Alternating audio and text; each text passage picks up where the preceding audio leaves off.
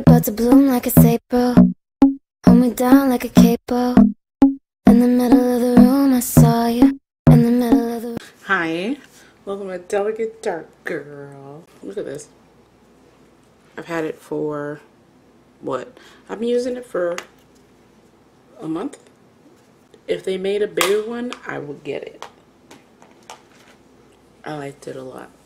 It was doesn't smell like anything in particular. It's really soothing on the skin.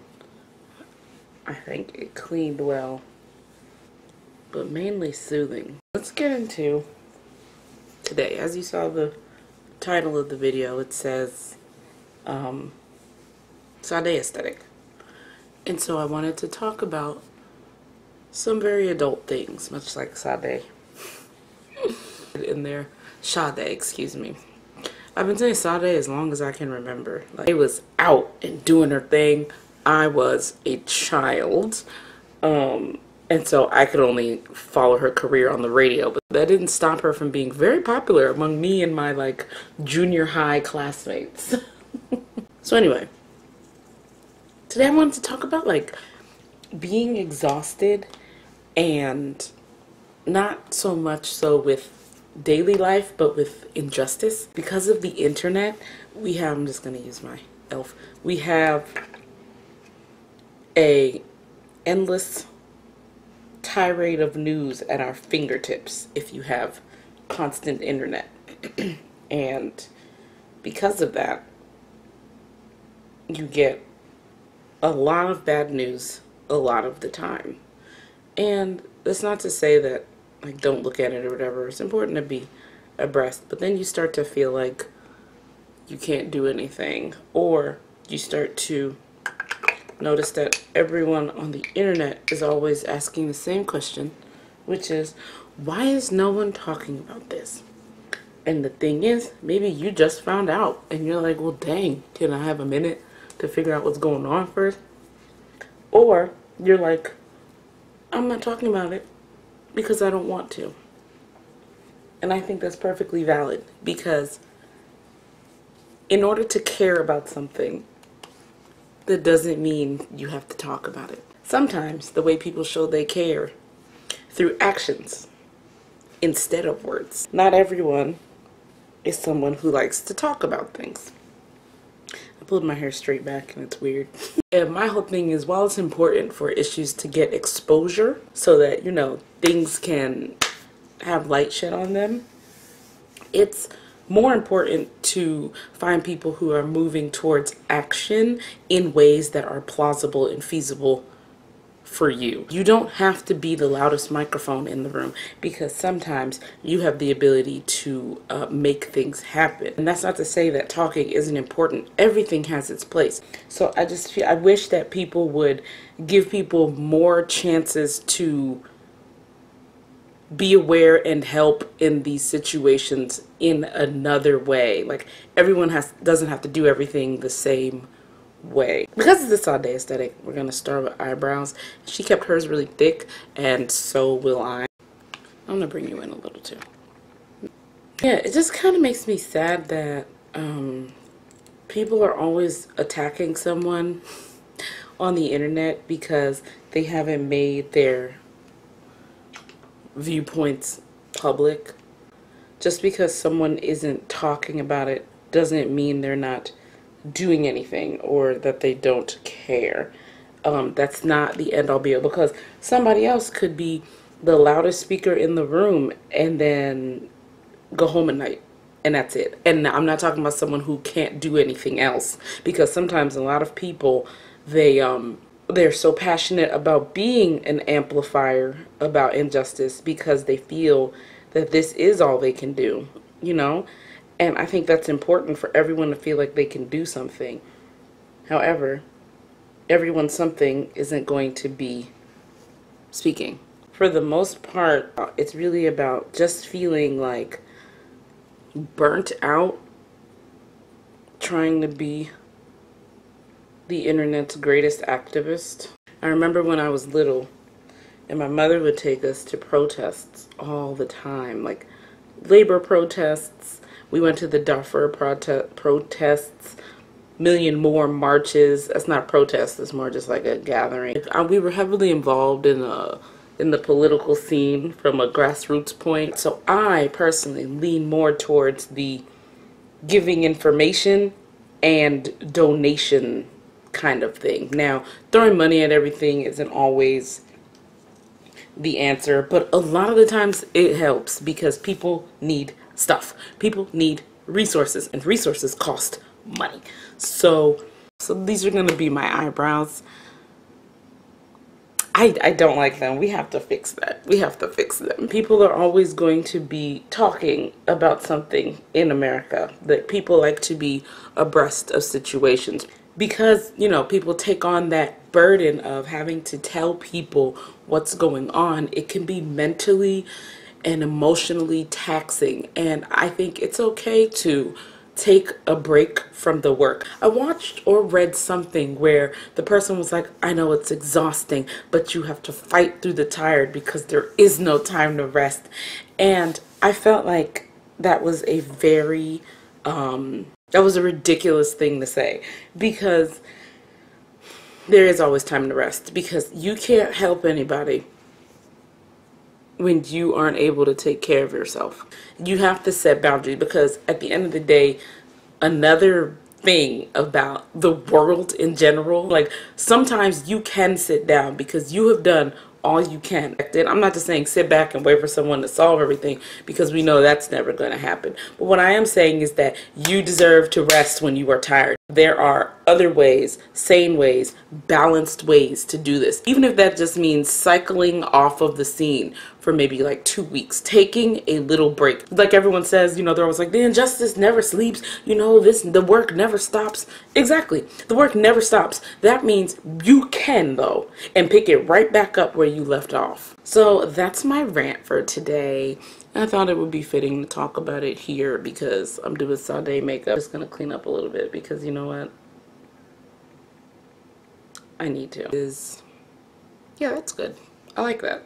Good. Thick eyebrows. Mm. Sade's makeup. It was really just classic 90s it girl makeup. That's what it was. It wasn't like specific to Sade at all. It was very much so a very 90s makeup look. Like if you were going to be an it girl in the 90s, this was the look makeup artists used to do on faces all the time. And I feel like I should look at more pictures. Milani SPF BFF. I will probably, oh man. Dude, what's your guys' favorite way to, I don't know, address issues? Do you have one? Are you somebody who's like, I want to, but I don't know what to do? But the actual awareness of it all is important when dealing with our own things. Like voting affects a lot of stuff. Voting in the interim, voting besides the presidential election. It's the reason why your state has the laws it has. The New York Times sent a thing talking about how Louisiana, I'm going to use black opal. And I think I'm just going to get it right on this face. Um, Louisiana. Mm, mm, mm, mm. All right. Louisiana can make a rule. The governor made a law talking about the Ten Commandments has to be in every class in every classroom of public school. And I'm like, wasn't I don't know how somebody's gonna take that to the Supreme Court. I know they will. And they should. Because even though I'm someone who grew up, you know, Christian and stuff like that, the whole reason this country was supposed to have rules about church and state was so that people would not feel intimidated to practice one certain religion because of government rules. That's why we separate church and state. That's why states are also able to monitor themselves outside of the federal government to a certain extent. It's why the Supreme Court can pass something, but your state might not adopt that law because they have their own superseding law because the state is semi autonomous. A nice little matte finish base because matte skin was all the rage in the 90s. So it seemed from my child eyes. I don't remember glossy faces. I remember a lot of matte faces. So somebody who was like able, old enough to put on makeup, I wasn't allowed to put on makeup yet. I was still like elementary school, so I wasn't putting on makeup. I'm using the Sahara 2 and I'm just gonna go into these two colors because I feel like that is a quintessential 90s colored eye. Maybe people don't realize like how much power your state has, but like like I was saying, it's the reason why um, the state officials in Louisiana could get away with some shit like that because they were elected into that position. And like people in those states are also talking about this. Um, yeah. So I'm just trying to buff out the edge. Went a little too high up, but that's okay. It's it's okay. So that's where we're gonna start with the eyes right there. Hmm. All right, so now we're actually gonna go into, just gonna use this and I'm just gonna get in here. This is Innisfree um, single. This is M40 or just 40. I'm just going to use it right here on the line. And then later I'll blend it up. But yeah. It can be exhausting being someone directly affected by injustices. And then on top of that, you have everyone telling you exactly how you're supposed to be acting about it. I'm of the firm mind where the greatest resistance to any kind of oppression is living your life and being happy. Now, can you do that if there's laws in place that are making it so that you're not allowed to live? It'll be hard. And don't you see that's why I'm someone who's like, you don't have to do anything else because you constantly living, you constantly going for your dreams, you constantly trying, you moving about this world is the act of resistance. And doing more than that is just that. You're doing more than that. And that's perfectly great and necessary. But don't ever think you're not doing enough just because somebody says you aren't because you don't have to talk about shit. You have to live it. That's a whole different ball game. So when you do talk about it, when you are able, when you are able, if you are able, if you want to, if that's the way you move, then you can talk about it. I'm just blending out the line that I put there with a little more. Just a little more. Almost. All right. Thank you. And now we will go in with the actual eyeline. It goes from the inner corner to the outside.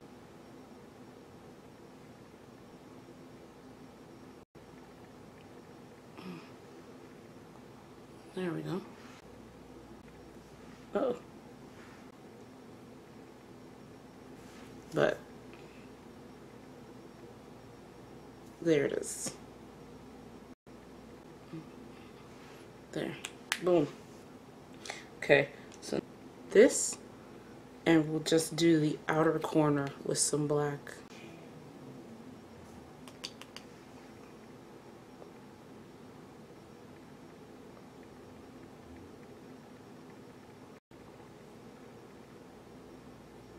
She seemed to really have lashes put on on the edge of her eye. So that's where I'll focus all my mascara. On the edge. The edge lashes. I guess that was to accentuate her eye shape.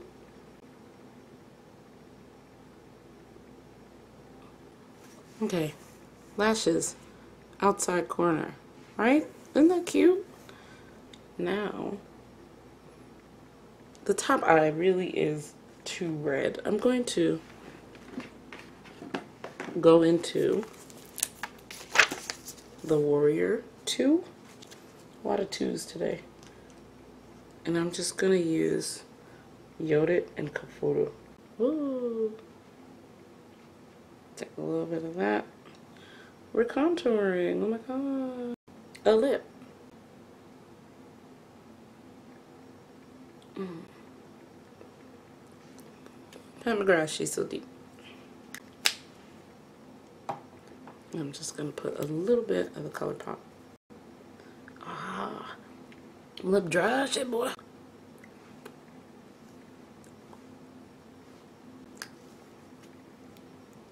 Okay. Last but not least, blush. So we're gonna use this. She always seemed to have like some sort of toasty, warm blush. So we're gonna use the Juvia's. What was this? Ethiopia. That is a single that they no longer make. But I use it for my blush. That's why it's like on its last legs. I'm just gonna put it here. But mm, toasty. And then I wanted to actually add a little bit of this Milani Illuminator blush. Just because.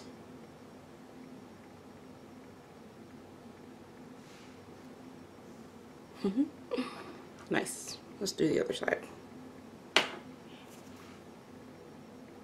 That's right up here. Way up here because that's where my cheekbone is. So, there you have it. Sade makeup. Basically 90s it girl makeup.